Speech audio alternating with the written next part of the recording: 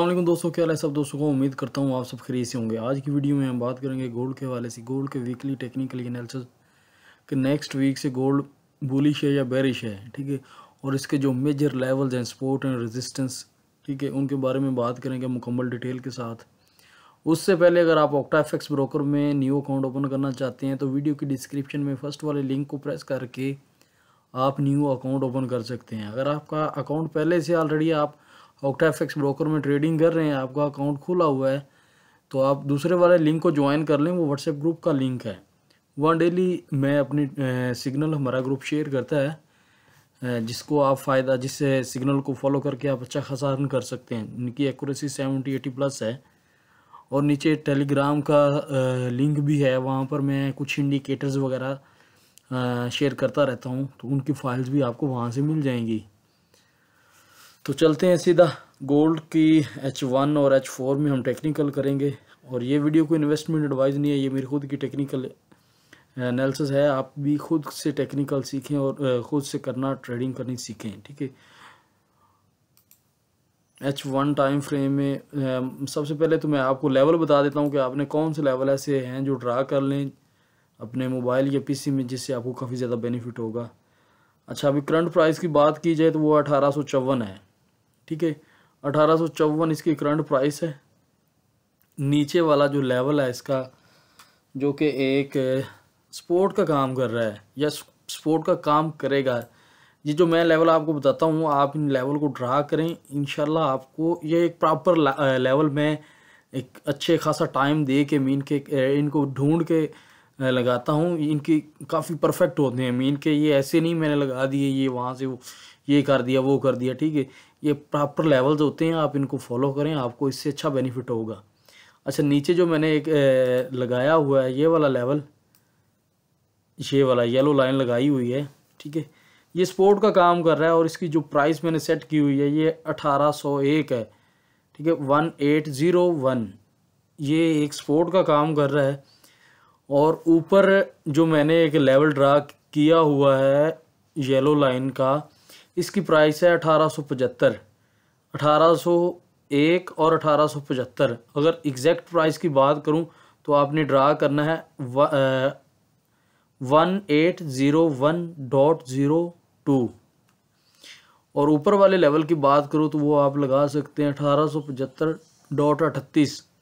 ठीक है one eight seven five dot three eight और थर्ड वाले लेवल की बात करूँ ये जो ऊपर मैंने ड्रा किया हुआ है इसकी प्राइस है उन्नीस सौ सात one nine zero seven point five three अब मैं ये बात क्लियर करता हूँ कि नेक्स्ट वीक इसके टारगेट या किस तरह से आपको ट्रेड इसमें लेना चाहिए ठीक है ये सौ फ़ीसद नहीं होता सपोर्ट और रेजिस्टेंस जो है सौ फ़ीसद काम नहीं करती अगर आप इसके अकॉर्डिंग ट्रेडिंग करें तो आपको आ, अपने फ़ंड को मैनेज करके ट्रेडिंग करें तो आप इससे भी अच्छा अच्छा खासा अर्न कर सकते हैं ठीक है, सात से आठ ट्रेड इसकी भी एकोरेट होती हैं। सात तो पक्की है ना। अच्छा अभी मैं आपको बताऊँ कि हमेशा जो मैं बोलता हूँ, क्या फ़लाँ सिग्नल जैसा कि, एक मिनट और। ये एक एच वन में एक मैंने ट्रेंड लाइन ड्रा की हुई है। तो ट्रेंड लाइन असल में ड्रा करते किस तरह से हैं? जैसा कि ये आप देख लें इधर। ट्रेंड ट्रेंड लाइन फ़र्स्ट वाल मैंने, मैं यहाँ से लगाई। और थर्ड इसने यहाँ पे इसको टच किया। इस नीचे आई, फिर ऊपर क्लोज हुई। इसको हम थ्री नहीं भी गिनते तो ये कह लें वन टू थ्री ये वाला हिस्सा। फोर फाइव सिक्स सॉरी वो मिस कर गया मैं, ठीक है? अगेन मैं बता देता हूँ आपको। वन अरे कहाँ चला गया? अच्छा ये वाला फ़र्स्ट वाला जो है ना ये एक और दूसरी बार यहाँ पर, तीसरी बार यहाँ, चौथी बार और पाँच, पांचवी बार। यानी कि पाँच बार मार्केट इस ट्रेंड लाइन को टच करके रिटेस्ट कर रही है। मतलब कि इसका वो नीचे क्रॉस नहीं कर रही। तो एक अच्छी ट्रेंड लाइन है, इसको मान सकते हैं। अगर ये दो, तीन से तीन से मिनिमम तीन हो तो ये एक एक्यूरेट होती है। ट्रेंड लाइन जिसके अकॉर्डिंग भी आप ट्रेड कर सकते हैं। और मैं अभी आपको दिखाता हूँ कि इस ट्रेंड लाइन के ज़रिए भी एक अच्छी खासी सिग्नल बना था, जिसे मार्केट में फ्राइडे डे वाले दिन भी अच्छा खासा इसने बुलिश की तरफ़ मूव किया।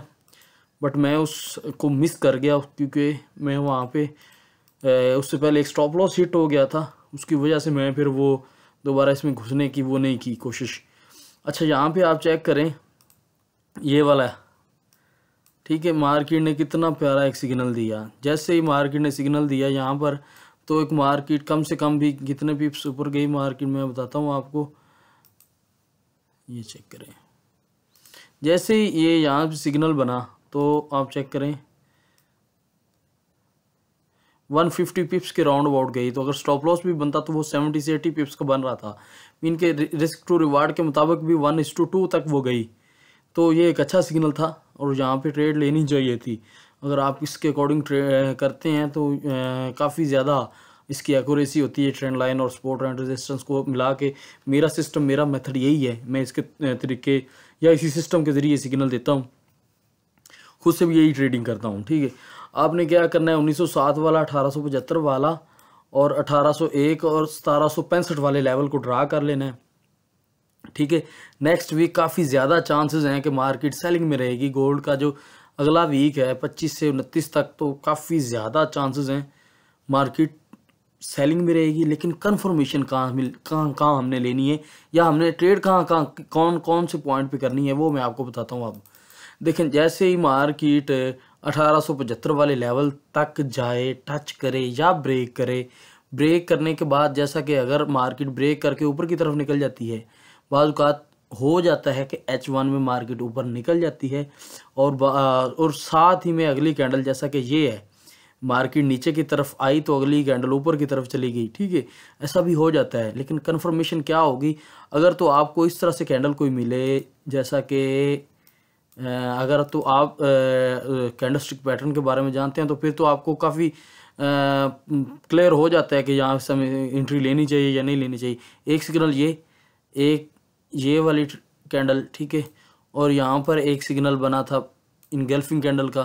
तकरीबन मान सकते हैं इसको इनगल्फिंग कैंडल है। तो ऐसी मतलब कैंडल स्टिक पैटर्न का अगर आपको कोई रिवर्सल कैंडल मिले तो आप अठारह से सेलिंग कर सकते हैं। टीपी की बात की जाए टारगेट की बात की जाए तो आप इस ट्रेंड लाइन के ऊपर ऊपर एग्जिट हो जाएँ, अपना ट्रेड क्लोज कर लें, ठीक है?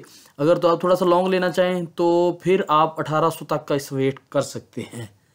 टी पी वन जो मीन के हाफ़ क्लोज जिसे मैं बोलता हूँ, वो आप 1840-45 तक ले जाएँ। अगर तो आपको अठारह सौ पचहत्तर से कोई बैरिश कैंडलस्टिक पैटर्न के मुताबिक कोई ट्रेड मिलती है सेलिंग ले लें, ठीक है, ये वीडियो कोई इन्वेस्टमेंट एडवाइस नहीं है।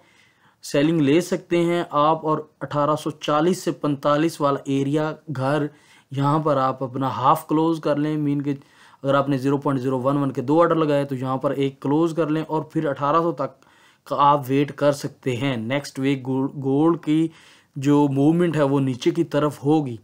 ये सौ फ़ीसद क्लियर नहीं है लेकिन लेवल जो मैंने बता दिया अठारह सौ पचहत्तर यहाँ से सेलिंग करें। अगर ब्रेक करके जा, चली जाती है दूसरी कैंडल ऊपर की तरफ़ क्लोजिंग कर जाती है तो फिर उसका फिर वो आप वेट कर सकते हैं ठीक है? अगर नीचे की तरफ़ क्लोज होती है कोई कैडेस्टिक पैटर्न मिलता है रिवर्सल साइन मिलता है तो आप ज़रूर से सेलिंग करें।